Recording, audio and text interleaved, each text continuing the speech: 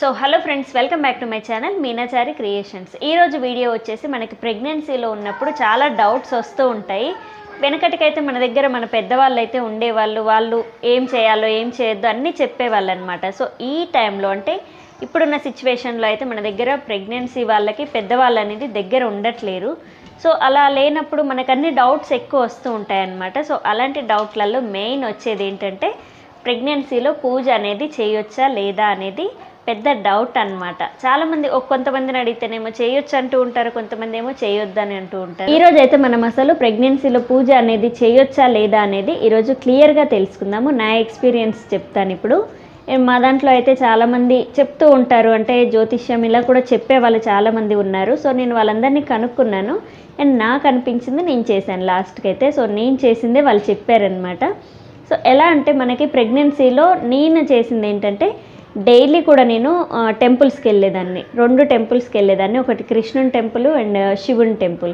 ఈ రెండు గుళ్ళలకు మాత్రం డైలీ నేను పిల్లల్ని స్కూల్కి తీసుకెళ్ళి థర్డ్ ప్రెగ్నెన్సీ అప్పుడు ఫస్ట్ సెకండ్ అప్పుడు అంతేం వెళ్ళలేదు కానీ థర్డ్ ప్రెగ్నెన్సీ అప్పుడు ఇంకా బాబు అవ్వాలి అనేసి కొంచెం బాధ అనేది ఎక్కువ ఉండేదన్నమాట ఆ టైంలో. సో అలా నేను మా స్కూల్కి పక్కన రెండు టెంపుల్స్ ఉండేవి. ఇటు సైడ్ కృష్ణుంది అటువైపు శివుంది.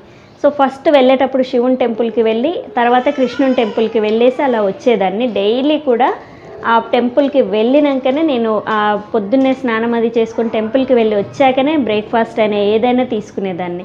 సో ఇలా నేను డెలివరీ ఇంకా వన్ మంత్ దా వన్ మంత్ అయితే డెలివరీ ఉంది అనగా కూడా నేనైతే ఖచ్చితంగా టెంపుల్స్కి అయితే వెళ్ళాను. నేను ఇంట్లో పూజ కూడా చేసుకున్నాను.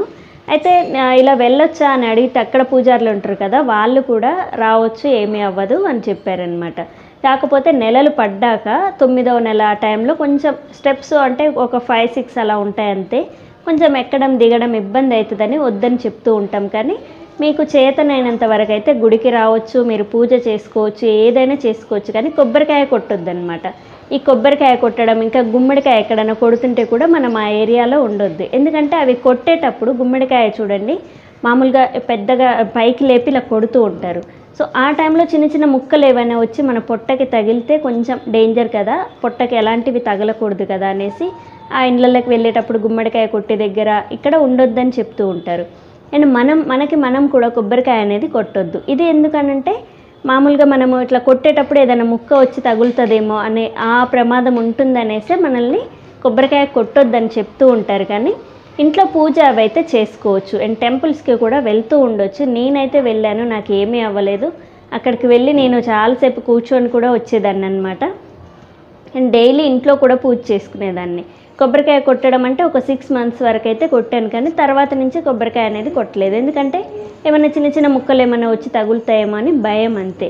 కానీ మనము మన చేతనైనంత వరకు చేసేంత వరకు అయితే పూజ అనేది చేసుకోవచ్చు అండ్ ప్రేయర్ చేస్తూ ఉంటారు. వాళ్ళైతే ఇంకా ఖచ్చితంగా డైలీ కూడా చేసుకోవచ్చు.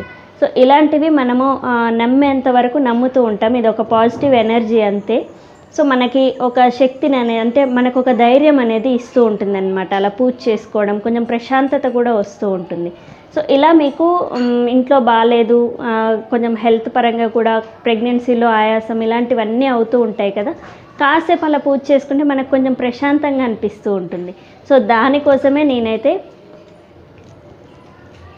సో దానికోసమే నేనైతే డైలీ కూడా చేసేదాన్ని అనమాట సో మీరు కూడా ఖచ్చితంగా చేసుకోండి. ఏమీ అవ్వదు. సిక్స్ మంత్స్ వరకైనా చేయండి మ్యాక్సిమం తర్వాత మీకు మంచిగా అనిపించి మీకు చేయాలి అనిపిస్తే మాత్రం ఖచ్చితంగా చేసుకోండి. ఏమీ అవ్వదు. సో ఇంకా వేరే వాళ్ళని కూడా కనుక్కోండి మీరు. మీ పెద్దవాళ్ళని ఎవరినైనా ఉంటే కనుక్కోండి. తర్వాత వాళ్ళు చేయొచ్చు అంటే చేయండి లేదంటే లేదు. కాకపోతే నా ఉద్దేశం ఏంటంటే మనకి చేతనైన రోజులు మాత్రం చేసుకుంటే ఎలాంటి ప్రమాదం అయితే ఉండదనేసి నా ఉద్దేశం. సో నేనైతే డెలివరీ ఒక వన్ మంత్ ఉందనంగా కూడా ఖచ్చితంగా టెంపుల్స్కి అయితే వెళ్ళాను. సో వన్ మంత్ ముందు వన్ మంత్ ఎందుకు వెళ్ళలేదంటే ఇక్కడ నుంచి మా ఊరు వెళ్ళిపోయామన్నమాట. అక్కడ టెంపుల్స్ అవి కొంచెం దూరంలో ఉంటాయి. అందుకే అక్కడికి వెళ్ళాక టెంపుల్స్కి అయితే ఏమీ వెళ్ళలేదు కానీ ఎయిట్ మంత్స్ దాకా కూడా నేనైతే అటు ఇటు తిరుగుతూనే ఉండేదాన్ని టెంపుల్స్కి వెళ్తూ ఉండేదాన్ని పూజ అది ఇంట్లో చేసుకుంటూ ఉండేదాన్ని. సో మీరు కూడా చేసుకోవచ్చు ఏమీ అవ్వదు. సో చూసారు కదా ఫ్రెండ్స్ ఈరోజు వీడియోలో ప్రెగ్నెన్సీలో మనం పూజ చేయొచ్చా లేదా అనేది మీకైతే ఒక క్లారిటీ వచ్చి ఉంటుంది. ఇంకా కూడా మీకు డౌట్ ఉంటే మీ పెద్దవాళ్ళని అడిగైతే క్లారిఫై చేసుకోండి. So thank you please subscribe my channel Meenachari creations thank you